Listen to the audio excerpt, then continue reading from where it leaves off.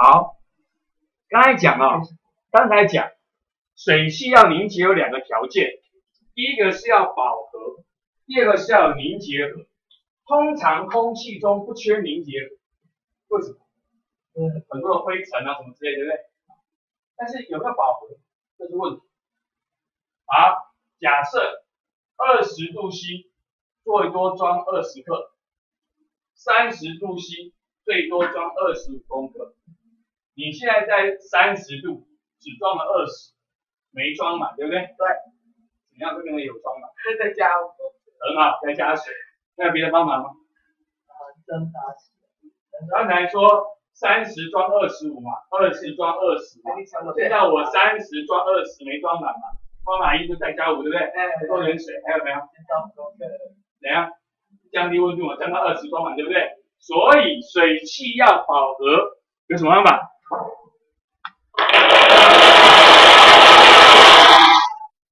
继续供应多点水，继续供应，刚讲过。二十才多五嘛，变二十五，继续或者降温度，这两件自然界都会做，继续供应就继续晒，又继续晒，太阳继续的晒，水汽又继续的蒸发，就会有更多的水会进来，要继续供应水汽。不过大部分用的是第二个方法，降低温度，降低温度。变化降低温度，怎么降低温度呢？重点，一团空气上升时，因为气压会下降，体积会膨胀，所以温度就会降低，因此就容易饱和，然后于是就容易凝结，然后就会有云，然后有云就会下雨。好，来，国中生，你可以了解，一团空气上升时。天上气压小，你可以了解气压会下降，因为你了解气压下降了，所以你可以了解体积会膨胀。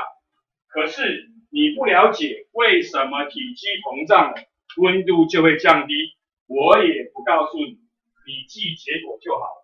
这个叫做绝热膨胀，高中才会教绝热膨胀，体积膨胀之后气温会下降，所以最后半句。的原因我不告诉你，就只知其然不知其所以然的记就可以。OK，因为气压下降，体积膨胀，温度会降低，然后就带了最后这句重点：上升气流，天气不稳定会下雨。我待会会举一些例子给你看，然后从现在开始到以后这一本学完为止，你只要看到它是上升气流的，你就要记住。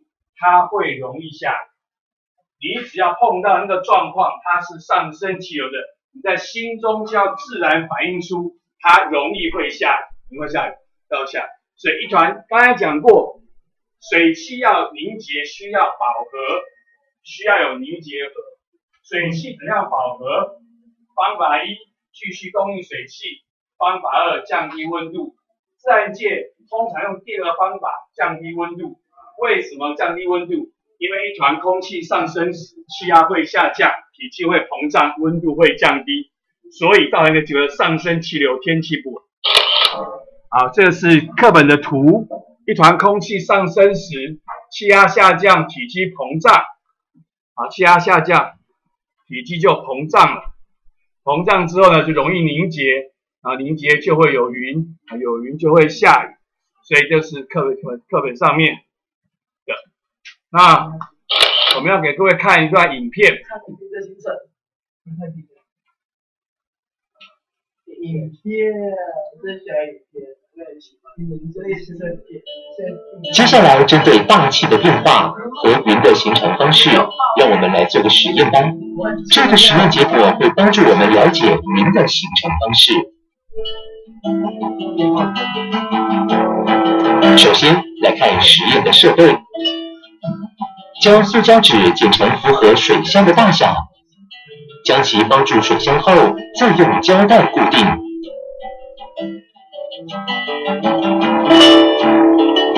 塑胶纸结合处，用透明胶带封紧。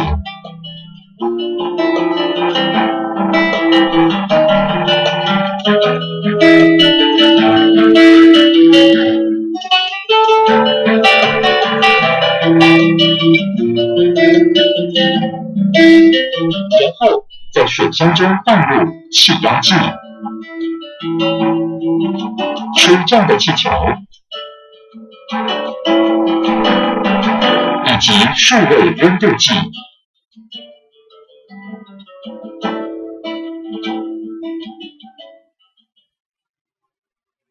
紧握塑胶纸上方不让空气漏出。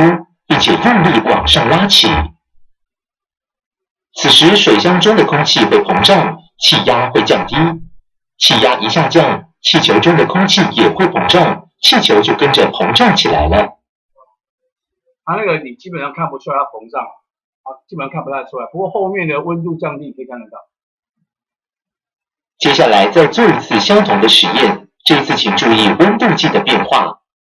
当塑胶纸被往上拉起时，可以发现水箱中的气温下降。从这个实验可以得知，空气一膨胀，温度就会下降。我要跟你讲过了，我不告诉你为什么体积膨胀温度就会降低，你记结果就好。啊，高中才会告教你说为什么体积膨胀温度会降低。你国中生就记结果就好。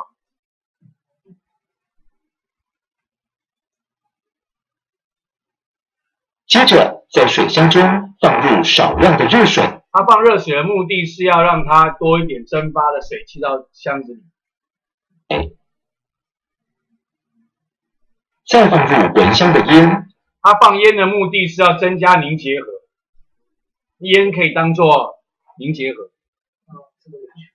进行相同的实验。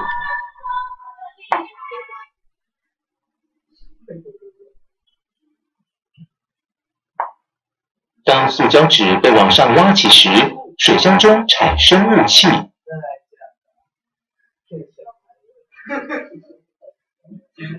为什么会产生雾气呢？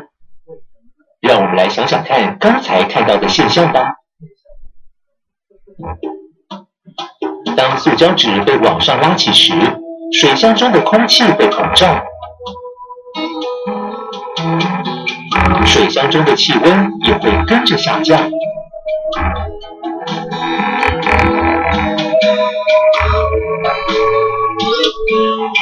气温下降时，饱和水蒸气量变小，空气中的水蒸气会因为达到露点而凝结。你不要管什么叫露点，你高中才会教，你就反正就是，你就只要知道达到饱和就好，你就达到饱和就可以了。高中才会教露点。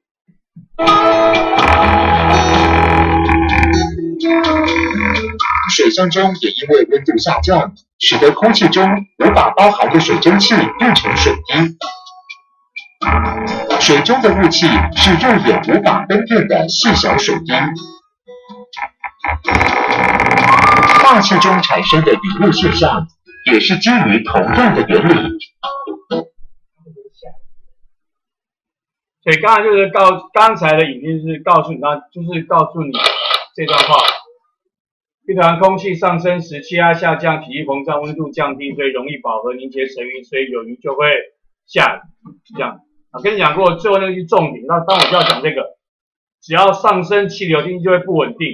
我们会教很多个例子。比如说这些东西，有一些是你地理就教过的，但是有些是我后啊，大部分都是我后面的地课会上到。比如说高气压天气会晴朗，低气压天气会阴雨，这跟这个所谓的上升气流有关系。比如说北部、东北部地区因为地形抬升而多雨。比如说台风过台风过境，迎风面雨特别大。这这三段话都是我们。未来地科会教你的事情，而它的原因都是跟前面的因素有关，就是假如一团空气上升时，气压下降，体积膨胀，温度降低，所以容易凝结饱和，凝结成云，有云会容易下雨，所以天气会不好。好，这些都是未来会教的。剩下这张，这个是你们地理上看过的东西，地理上看过的东西。这些因素、这些作用都会造成空气的上升，也因为它造成了空气的上升，所以就容易会有云，就会下雨。你要抄在讲义，就是我待会会框框框起来的字。比如说第一个，太阳加热，太阳晒；晒了以后就蒸发到天上，往上冒，然后所以就凝结。它画的就是基状语。这个原则上地科里面没有教这件事情，地科里面没有教太阳晒一晒，然后往上冒蒸发，没有这样教。下面的都是地科，我后面会教的，比如说地形抬升，刚才讲了北部、东北部地区因为地形抬升而多雨，往上抬，啊，这个空气往上抬，我喜欢说啊，往上爬，爬山很累，很累，流汗，流汗就下雨了，啊，往上冒，考试又考过左边、右边哪一边会下雨？迎风面的地方会下雨，迎风面的地方会下雨。比如说封面，我们后面会教封面，封面往上抬，暖空气往上抬升之后，造成上升气流容易凝结下雨。下面一个是刚刚讲过低气压，低气压中心是一个上升气流，所以又是个上升气流，所以又是刚回到刚刚样子，气压下降，体积膨胀，温度降低，容易凝结，饱和成云会下雨。所以讲义上就要抄这四个红框框上上的字。这些是你们地理上看过，你还想起来了吗？你有记得吗？地上看过的，看过嘛，对不对？地上看过这个，它都会造成空气的上升，也因此都会造成降雨，OK 吗？可以吗？可以的话就请写这场练习。